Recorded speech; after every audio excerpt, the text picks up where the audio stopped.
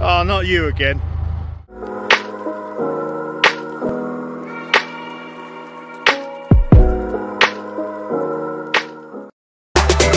Let's go.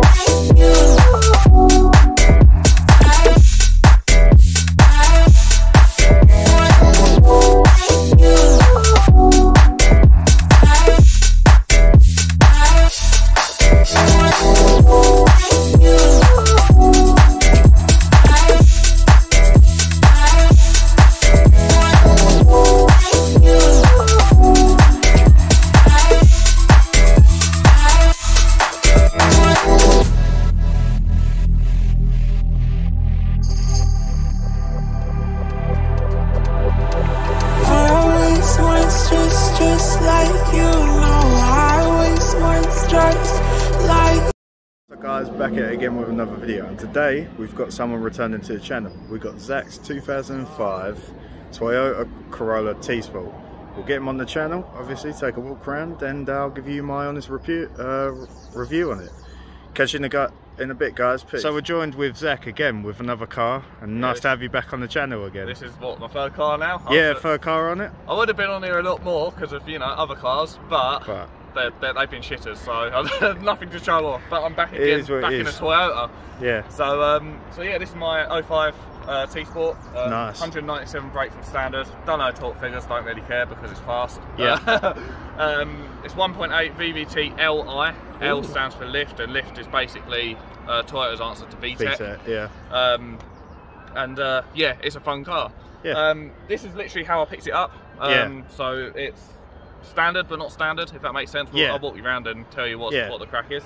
So it's a facelift model, you can tell, because like my Yaris, it's got the teardrop headlights, Yeah, um, and it's got the more aggressive looking front bumper, which I absolutely love. yeah, Um, and then this just got normal T Sport slash SR alloys as well. yeah. I don't know why they didn't change them for the T Sports, but It is what it is. yeah, exactly. Um, it's also lowered as well. It's lowered about 30, 35 mil. Um, I'm not sure what springs it's on, Yeah, but I know it has been lowered. And to compete with that as well, if I walk you around to the arse end of the car quickly, we've got a nice big old exhaust. Um, so this is a three-inch catback. Obviously, my Yaris had a two-inch catback, so basically the same setup. Three-inch catback into a back box. I'm not sure what back box it is, yeah. but it sounds bloody lovely. I think what we'll do in a second is obviously get the uh, viewers a little clip of that, cheeky little clip of a rev. Oh, I don't know what cost me so much petrol.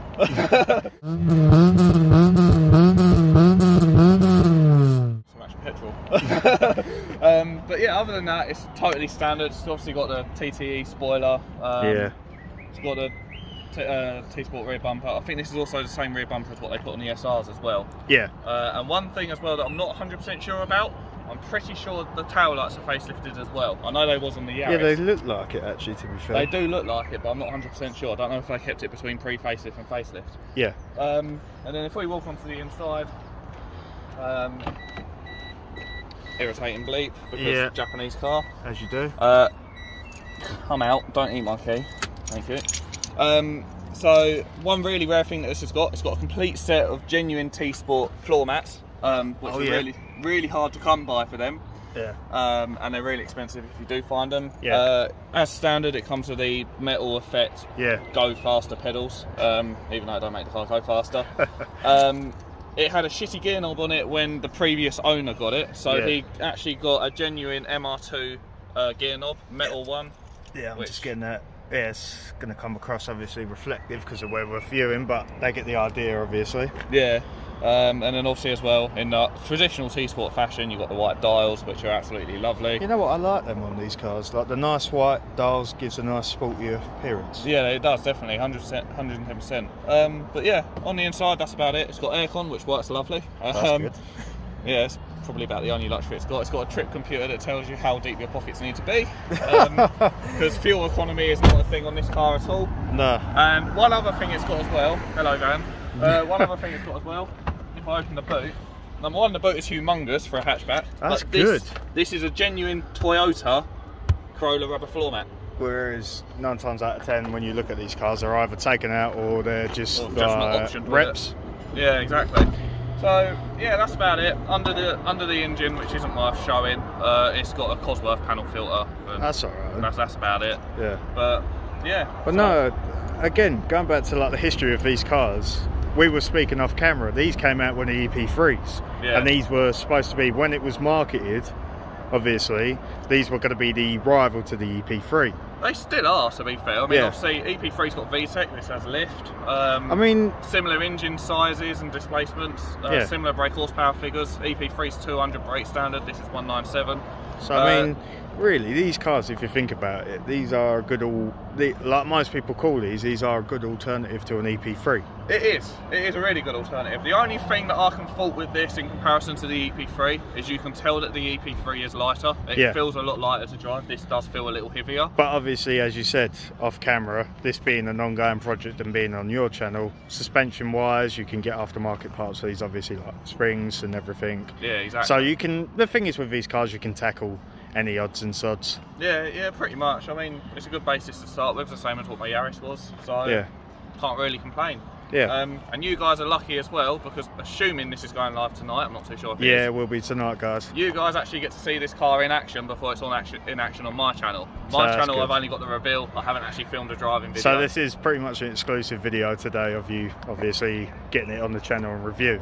yeah, and getting it on Yeah. the YouTube platform, driving. Yeah. so the next best thing I want to say is obviously let's take this out for a spin and see how it handles. yeah, definitely. So guys, you joined me from the passenger seat of Zak's 2005 Toyota Corolla T-Sport and on first impressions, it's lovely actually, like the seats are nice and comfortable.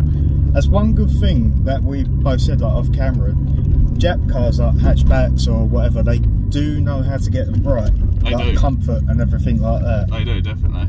But no, I mean, these cars are, it's something different if that makes sense. Like, because do you see a lot of them about? I know it sounds stupid to say Not, that, not many, but we have an empty straight. and we're on the Cuban Strip.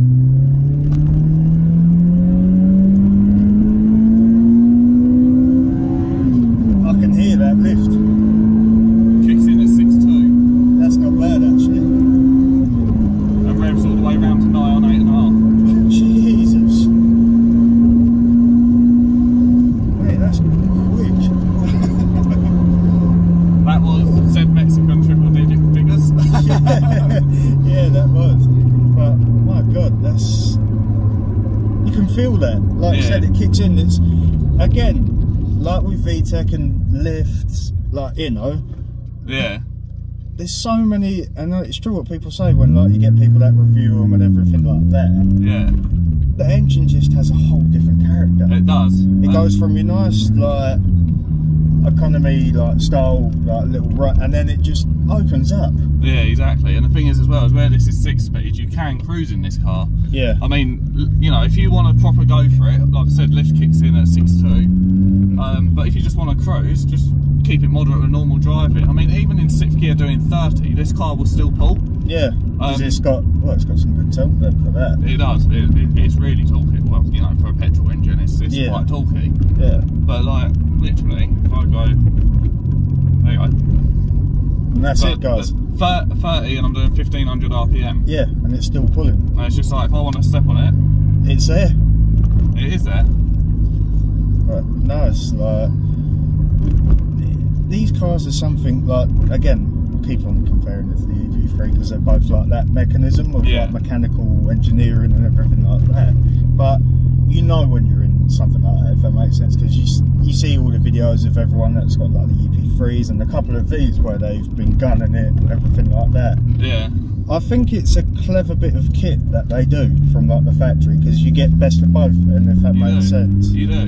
And the thing that I like with this as well, the same as what I said with the Yaris, to get any performance out of this car, You- you, need to be on edge with it. You need to push it. And I like a car that you need to push to get the most out of. It just makes it more fun to drive. It makes it, um, what's the word I'm looking for? More of more fun, or But more driver focused, more Yeah. fun, yeah, more more driver focused because it's like you know you drive the arse off of your car because you want to drive it, and uh, that's what this car does quite well. It makes Yeah. you drive the arse off of it. So, um, but yeah, no, if I, oh, there's a DC two. Is that DC two? It is a DC two. no, no, it's Yes, yeah. It is. Hello, sexy. Oh, that's nice. That is, isn't See, I always take you to the best spots. but? We'll, we'll let this get ahead a little. yeah, play a little bit catch up with a Mocco, yeah. See if we can do it before he pulls on, yeah? Yeah. Jesus Christ. I was at the top of the slip road Yeah, and we've caught up. and we've caught up already.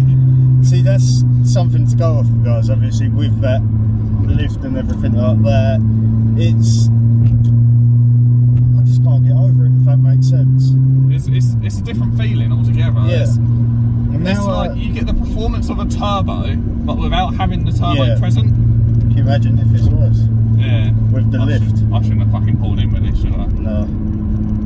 People have turboed these though. Yeah, I mean, like we were saying off camera, there's the rarer model this, which is the 1.8 compressor, so supercharged. So you imagine Yeah. how that would. Yeah, I think they're 230 from standards, correct me if I'm wrong, I think they are. Uh, maybe, I'm not 100% sure, because again, you don't really see a lot of these about. No, you don't.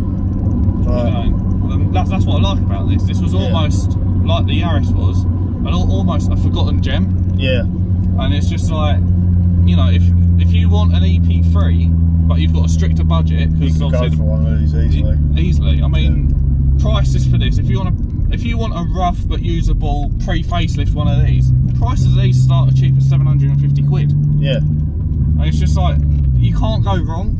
Like Yeah. yeah, granted you you know you need to expect like rust or something Yeah. like that, but you still get Toyota reliability. yeah.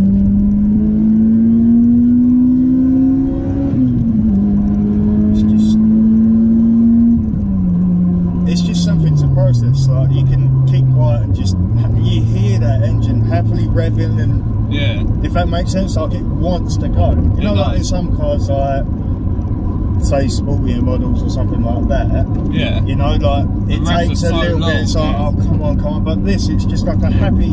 I don't want to say little, but like what I'm saying is, it's a happy hatchback, Yeah. sporty hatchback that loves to go on and on. It's like, yeah, I want. As you're saying, you can push these cars. Yeah. It's a real driver-focused car it is. It is like the S2000s, like Yeah. the early S2000s, where to get them, you had to get them up to like 1100, 9. That's Yeah. the sweet spot. Whereas I think this has got a nice sweet spot at what's the RPM it kicks? Six two is when lift kicks in. six then, two So yeah, then that's its, you know, and it will happily go up to like you said, nearly. Eight, eight and a half. I think it tops out at before it bounces off the Jesus. Christ! Yeah, But that's the thing. These cars are just they're so fun. they are. They are incredible fun, and like like they are now.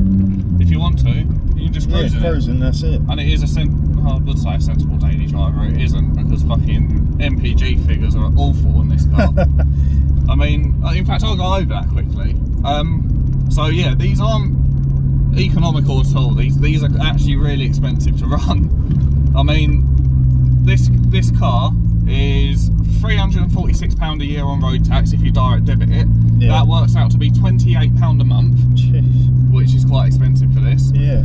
Um, and then MPG wise, um, on a good run, if you you know if you're like motorway driving and stuff like that, you'll you'll be lucky to see 40 MPG out of it. Yeah, you'll be lucky. Um, But is that to do with, you know, the lift, or is it just how the engine's set up? just how the engine's set up and the ratios in the gears, Yeah. because even in sixth gear going down a motorway or something like that, you're still um, you're still revving at about three and a half grand. Yeah. at, at, at motorway speeds, and that's yeah, it's, it's not ideal. Um, and then if you're just do, doing normal town driving, which is what I'm doing this most of the time, you're Yeah. seeing figures around 25 to 30 mpg, which Yeah. is fucking awful. yeah. Um, and then if you're in lift, you'll be lucky to see seven. Jesus Christ. Seven And I- mpg is the best it does in lift. And guys, I thought my Impreza was bad, Yeah, considering like the caliber and the engine displacement between the both. yeah. Like you know, we're talking a massive gap. But my God, Yeah. that's So if- you're looking for a little economy run around, take me to work, take me to the shop sort yeah, of car, Yaris. This is not it. By far is this not it. No, but No. But with, with something like this though, it's smiles per gallon. It's not miles per gallon. it's- Smiles, is Let's be honest, this is pretty much like you said. You can date it if you want to, but if you think about it, it's um really it's like a weekend toy.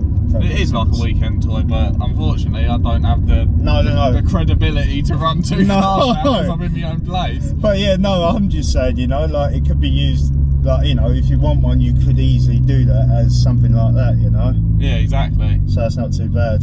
But yeah, no, thanks for um thinking it, like bringing it down to uh, on the channel, and it's nice to see you again, mate. Yeah, it's been a while, isn't it? Yeah, it has been a while. I So mean, it's it's been a while, but at the same time, like I've just been flat out with everything. same here, so- to be fair. But it's a good catch up and everything like that, mate. Oh yeah, definitely. Obviously, plug your channel if you want, and uh, yeah, if your you, socials. Yeah, if you if you want to see the build, um, I'll be building it on my channel. Uh, it might be slower progress than, than it was with the Yaris, especially towards the end of when I had the Yaris, because Yeah. like I just said, I do have my own place now, so I can't always spunk all my funds on cars now. No, yeah. Um, but yeah, if you want to follow the build, head over to my channel, uh, ZG Vlogs. I'm pretty sure I'll be left in the Yeah, description or I'll put a like link that. in there for that, and obviously your social media, I'll put a link Yeah. in there so you guys can follow any My- progress. My social media hasn't changed from when it was with the Yaris. It's still at that Jap Crap Box. yeah, Um, I've also got a Facebook page as well, which is uh, ZG Vlogs Official, uh, and I've also got TikTok as well. Yeah, I'm one of them people. Uh, don't judge. Um, yeah, so I've also got um, ZG Vlogs as well. Uh, ZG Okay. Vlogs Official on TikTok. So, Okay. uh, so yeah, Well, I'll put your Facebook down there and like obviously your Insta and your channel because they'll be like your main ones, obviously, if that makes sense. Yeah. So if anyone wants to get in contact with you for like reviews or anything like that, there's that as well. yeah, But yeah, no, I've enjoyed this actually from passengers' point of view. This is lovely. it is. It is a nice car. I do, I do enjoy it. Yeah. I'm Uh, going to end the video there, guys. Again, thank you for bringing this on. That's Good fine. catch up. And yeah, I don't know when the next one will be. Probably around about June time, guys. So yeah, I'll uh, catch you in the next one. Peace.